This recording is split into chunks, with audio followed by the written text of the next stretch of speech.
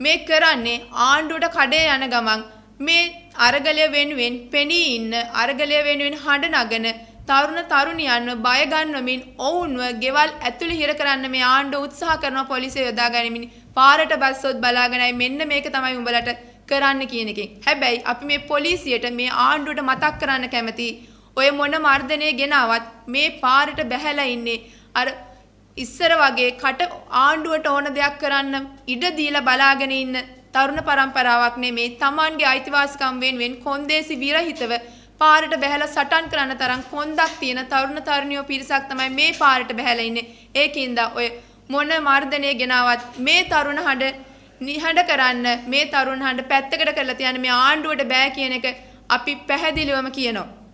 ඒක නිසා අපි අපේ රටේ තරුණ තරුණයන්ට ආරාධනා කරනවා අපි කියනවා තරුණ සමාජවාදී තරුණ සංගමයේ විදිහට වගේම ශ්‍රී ලංකා නීතිඥ සංගමයේ විදිහටත් ඔබ කරන මේ අරගලයේදී ඔබේ වෙනුවෙන් හිට ගන්න අපි ලෑස්ති ඒ වෙනුවෙන් මේ වෙනකොටත් අපි විශාල දායකත්වයක් ලබා දීලා තිනවා. ඒතකොට ඒ දායකත්වය තවදුරටත් ඉදිරියට ගෙනියමින් ඔබ වෙනුවෙන් පෙනී ඉන්න අපි ලෑස්ති නිසා මේ අපි හැමෝගෙම අනාගතය වෙනුවෙන් කරන රටක්.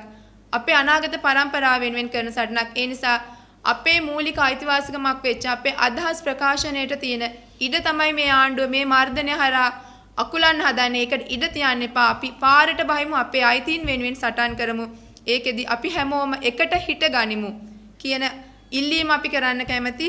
ඒ වගේම තමයි මේ අනීතික විදිහට ආණ්ඩුව විසින් පොලිසිය යොදාගෙන කරන මේ දේශපාලන දඩයමට විරුද්ධව සමාජවාදී තරුණ සංගමයේ විදිහට අපි මේ වෙනකොටත් මානව හිමිකම් කොමිසමට පැමිණිලි ගණනාවක් ඉදිරිපත් කරලා තියෙනවා. ඒ වගේම මූලික අයිතිවාසිකම් නඩුවක් පවරලා තියෙනවා. ඒ වගේම තමයි තව නඩු කිහිපයක් පැවරීම සඳහා අවශ්‍ය කටයුතු සූදානම් කරමින් තියෙනවා.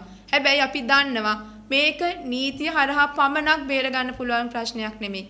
මොකද ආණ්ඩුව මේ වෙනකොට මුළු ලංකාව පුරාම ඉන්න 2900කට අධික තරුණ තරුණියන් පිරිසක් සිරගත කරමින් දෙමින් ඉන්න මේ මර්ධනය හරහා දෙමින් ඉන්න පණිවිඩයට ආණ්ඩුවට අපිට දෙන්න පුළුවන් හොඳම උත්තරය තමයි අපි හැමෝම මේ මර්ධනයට බය නැහැ. ඔය මොනා කරත් අපි අපේ සටන අත්හරින්නේ අපේ සටනේ නිමාව තියෙන්නේ ගෝඨාභය රනිල් ප්‍රමුඛ මේ ජනපීඩක ආණ්ඩුව ගෙදර යවන එක ඇතුලේ විතරයි කියන පණිවිඩය දෙන්න අපි හැමෝම පාරට එමු. මේ තියෙන පෝලිං ක්‍රමයට හුරු වෙනවා වෙනුවට පෝලිම වෙනුවට වීදිය තෝරගෙන සටන් කරමු. ඒ සටන හරහා මේ අපි හැමෝම දකින හීනය සැබෑවක් කරගමු ජනතාවට.